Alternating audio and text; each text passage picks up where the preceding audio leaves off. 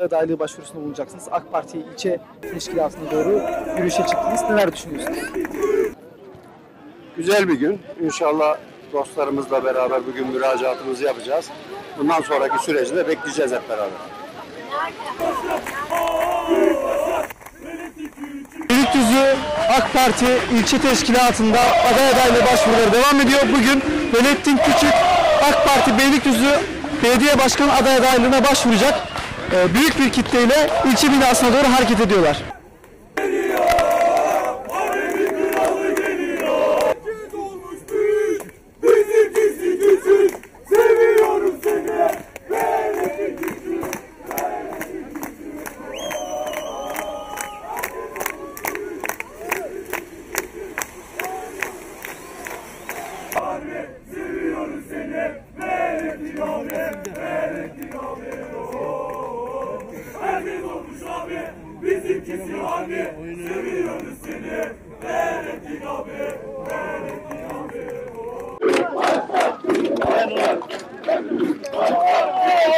Allah hayırlısını etsin.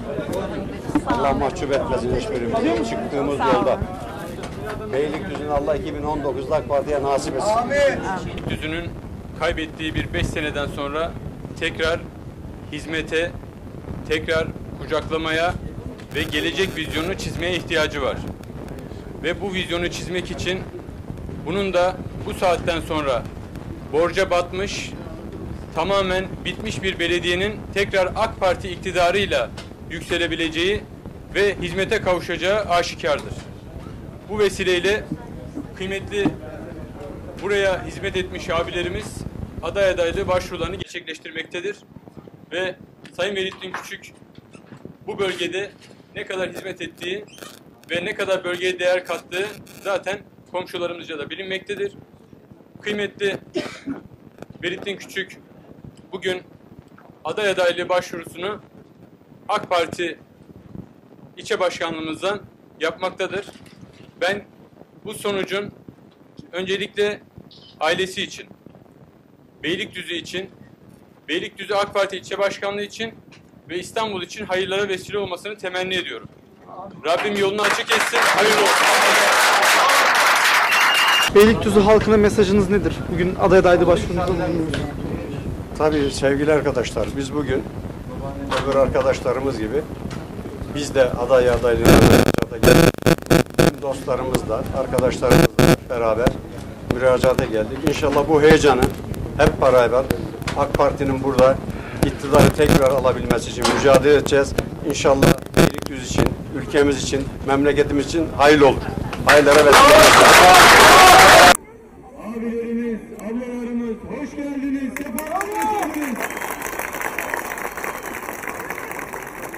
Düzünde tekrar ilçemizin hizmetlerle buluşması, Borcuklu'nun tekrar düze çıkması ve Beylikdüzü'ne 2050-2100 vizyonunu kazandırmak için yerel seçimlere doğru giderken AK Parti'nin adaylık başvurularını aldığı önemli günlerden birindeyiz.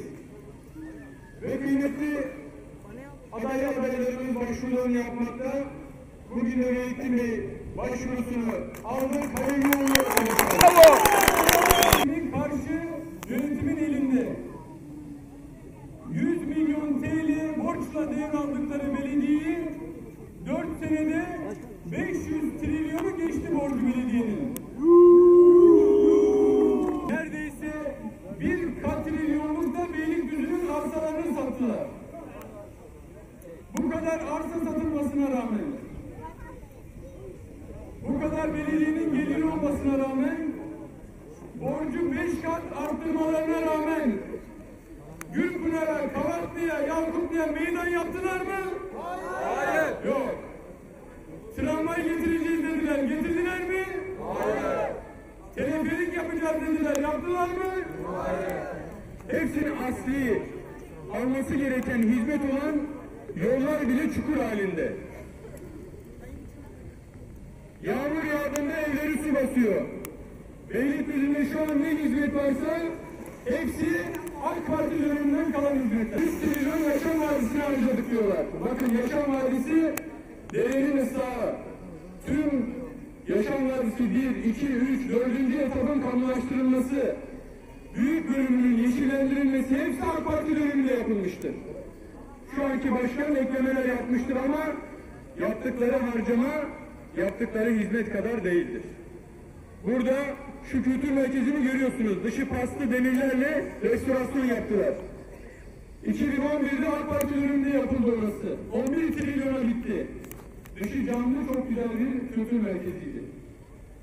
Restorasyon yapacağız diye 3 sene kapattılar ve 50 milyona yakın para harcadılar. 11 trilyona sıfırdan yaptığımız yeri 50 trilyon restorasyon harcaması yaptık dediler. Beylikdüzü batmış. Beylikdüzü'nün geleceği yok. Bu saatten sonra burada belediye hizmeti AK Parti iktidarında inşallah en emin, güvenilir ellerde tekrar gelecek.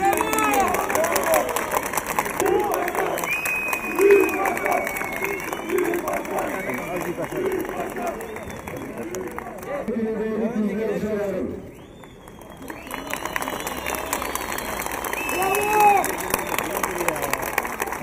Kapıda sayın kaldı.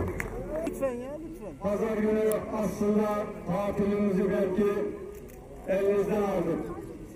Ama inşallah bu başlangıç az önce ilçe başkanımızın da söylediği gibi 2019'da Beylikdüzü Belediyesi'ne AK Parti bayrağını dikeceğiz.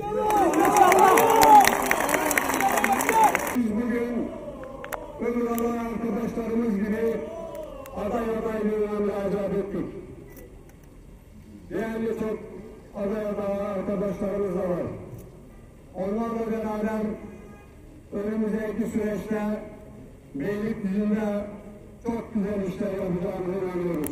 İnşallah adaylık neticelendikten sonra Beylikdüzü'nde neler yapacağını, Beylikdüzü'nün nelere ihtiyacı olduğunu, bunları tek tek planlayarak Beylikdüzü halkının hizmetine gelecekte inşallah AK Parti kadrolarıyla beraber karar vereceğiz. Beylikdüzü'nde birçok eksiklik var. En basit bir şey söyleyeceğim. Sabahla akşamları Beylikdüzü'ne trafikten girip çıkamazsınız. Bizlerin bıraktığı yollara bir artı yok. Yeraltı dağıtıkları yok. Elektrik insanların üst geçitleri yok. Trafikler tıkanıyor. Maalesef bunu dahi çözemeyen belediyelerle karşı karşıyayız. Bugün burada bana desteklediğiniz için bundan sonra biliyorum evet kapı kapı dolaşarak Beylikdüzü'nde inşallah AK Parti Belediyesi'ni taşlandıracağız.